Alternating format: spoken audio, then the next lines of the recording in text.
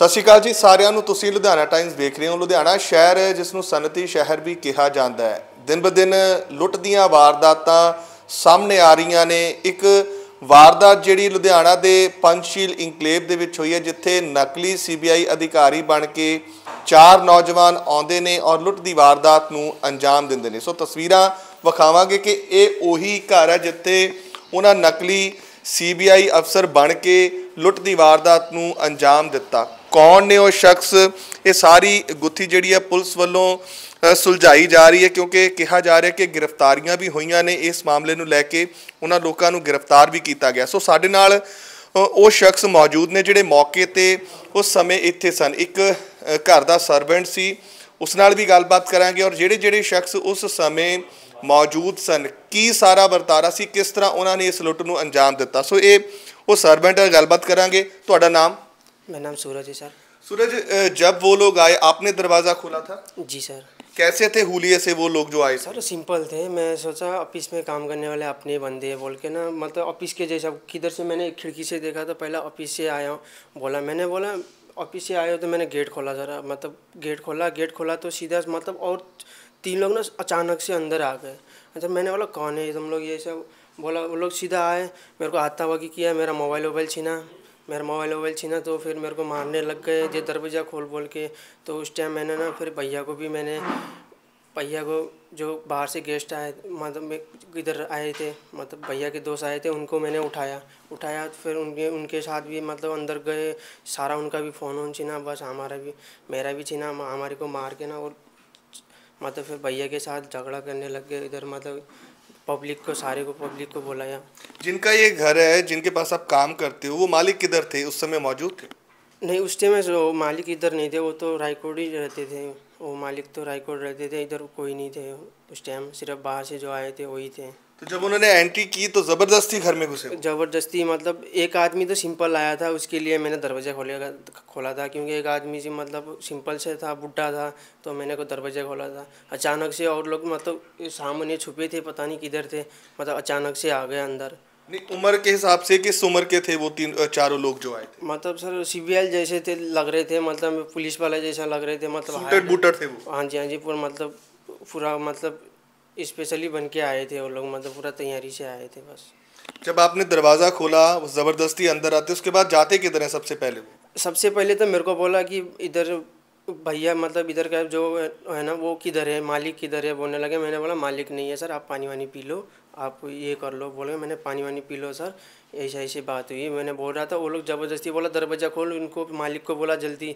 बोल के ना इधर गन था उनके पास फिर मेरे को भी डर लग गया। तो मेरे को उन लोगों ने मारने लग गया। मैं मार खाते रहे मैं मोबाइल वोबाइल चिला पैसा था आपको मारा भी उन लोगों ने? बहुत मारा मेरे को तो।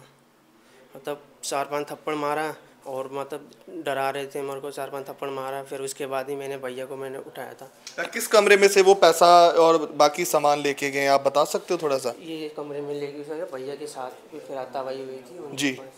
ये कमरे में से पैसा और आईफोन उनके दो मोबाइल आईफोन और मेरा वो मोबाइल था और मेरे पास थोड़े बहुत मतलब जो राशन पानी के लिए लाने के लिए पैसा देते थे वो पैसा लेके गए। और उनके भी पैसे लेके गए वो तो भैया बोल रहे हैं उनसे बात कर तो जो गेस्ट आए हुए हैं अभी वो मौजूद है घर पे लो हाँ जी हाँ जी वो है जी ਸੋ ਉਹਨਾਂ ਨਾਲ ਵੀ ਗੱਲਬਾਤ ਕਰਾਂਗੇ ਜਿਹੜੇ ਮਹਿਮਾਨ ਇਸ ਘਰ ਦੇ ਵਿੱਚ ਆਏ ਸਰ ਆਪਕਾ ਨਾਮ हाँ, अली सर अ, आपने वो सारा सिचुएशन देखा जो लोग आए इस घर में अ, दिखने में कैसे थे वो लोग और उन्होंने क्या किया सबसे पहले आके उन्होंने अ, सर मैं उस समय कमरे में था कमरा बंद था अंदर से मैं नहा रहा था कपड़े पहन रहा था मैं फिर जैसे ही कमरा खोला चार बंदे खड़े थे सामने और एक बंदा चेहरे पे रुमाल बांध रखा था और फिर जैसे ही मैंने दरवाज़ा खोला, वो कह रहे, मैं हम सीबीआई से हैं, सीबीआई से आए हैं वर्मा जी कहाँ हैं, वर्मा जी कहाँ हैं?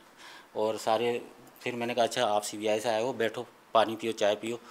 फिर वो, फिर लगे धक्का मुक्की करने लगे, मेरे को अंदर धक्का मारा, फिर अंदर सारे घुस गए। अंदर घुस के, अंदर सारी अलमारियाँ खोलने लगे जो दराज थे, वो सारे दराज खोलने लगे। फिर दराज के अंदर चालीस हज़ार रुपये पड़े थे, वो उठा लिया। मेरे एक, मेरा फ़ोन पड़ा था, वो ले लिया। साथ में लड़के का जो कुक था, उसका फ़ोन उठा लिया। फिर धक्का मुक्की करते रहे। फिर मैं ज़ोर ज़ोर से चिल्लाने लगा, चोर चोर चोर चोर। फिर मैं कैसे भी धक्का करते हुए गेट तक गया, गेट खोला। काफ़ी तेज़ शोर करने लगा। मैं चिल्लाने लगा कि आजू बाजू के लोग इकट्ठा हो जाए। फिर जैसे मैं चिल्लाना शुरू किया, सारे लोग इकट्ठा हो गए। फिर इकट्ठा हो गया। मैंने एक बंदे को पकड़ रखा था। वो जो जिसने रिवॉल्वर रखी थी या कैसा बंदूक था उनके पास हथियार भी था। हाँ एक हथियार था उसके पास क्या था छोटा सा हथियार था एक।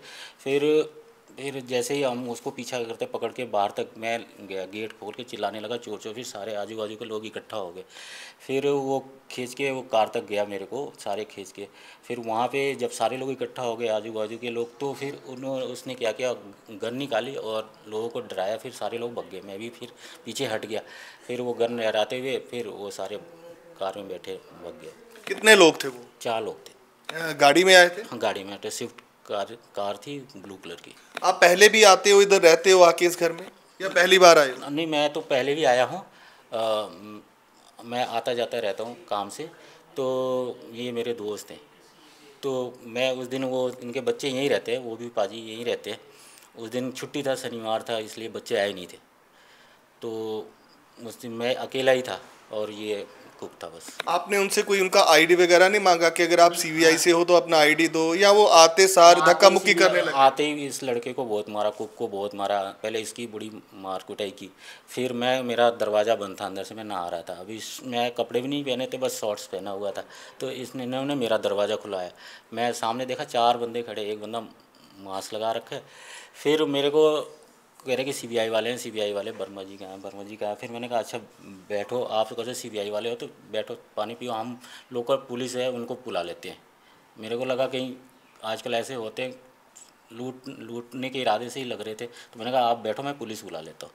फिर वो हमारे साथ काफ़ी धक्का मुक्की किया, उन्होंने फिर कैसे भी करके हम दरवाजे तक पहुँच के जाके गेट खोला ज़ोर ज़ोर से चिल्लाना शुरू किया। फिर जाके वो जो सामान था मेरा मोबाइल और लड़के का मोबाइल लेके भाग गया और अलमारी में जो बाद में आपने पुलिस कंप्लेंट की हाँ। और इस इंसिडेंट के कितनी देर बाद पुलिस आई यहाँ पे? पुलिस तो आ गई थी। हम जैसे गए वैसे पुलिस आ गई। उन्होंने सारा आके सारा एक एक चीज़ चेक किया सारा किया।